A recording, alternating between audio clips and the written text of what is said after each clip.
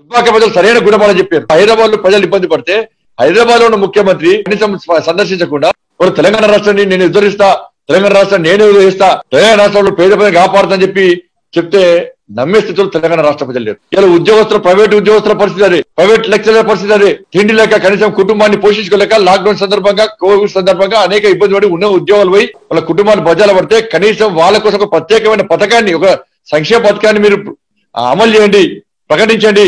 ప్రత్యేక నిధులు కేటాయించండి. వాళ్ళందరూ తెలంగాణ ఉద్యమంలో పాల్గొన్నారు. అన్నిటికీ భరించి అన్నిటికీ తెగించి కొట్టాడారు మీకు అధికార పీఠాన్ని అప్పచెప్పారని చెప్పి చెప్పినప్పుడు కూడా రాష్ట్ర ముఖ్యమంత్రి ఇంత స్పందించకుండా నిజంగా దారుణం. ప్రభుత్వ ఉద్యోగుల పరిస్థితి ప్రైవేట్ టీచర్స్ ప్రైవేట్ లెక్చరర్ల పరిస్థితి ఐఆర్ పిఆర్సీ విషయంలో మొదటి నుంచి మోసం చేసే ప్రయత్నం చేస్తున్నాడు. ఉపాధ్యాయ సంఘ నాయకులను చెప్పు చేతుల్లో పెట్టుకొని ఆడిందే ఆట పాడిందే పాటగా అయ్యాలా కనీసం ఉద్యోగస్తులను పట్టించుకునే పాపడం లేదు. నిరుద్యోగుల పరిస్థితి అదే ఉన్నది. ఇంటికి ఉద్యోగం ఉన్నాడు.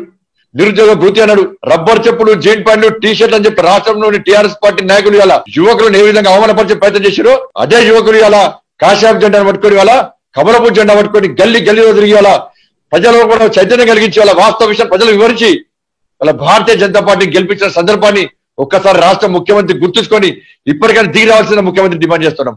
ఇది కేవలం దుబ్బాక ఎన్నికలకు పరిమితం కాదు. ఈ విజయ దుందిం అనేది రెండు వేల ఇరవై మూడులో గోల్కొండ కిల మీద కాశాబు జెండా ఎగిరేస్తామని గతంలో చెప్పినాం టిఆర్ఎస్ పార్టీని అందుకునే party Bharatiya Janata Party. TRS party రాష్ట్ర ముఖ్యమంత్రి కోరవీకే పార్టీ భారతీయ జనతా పార్టీ.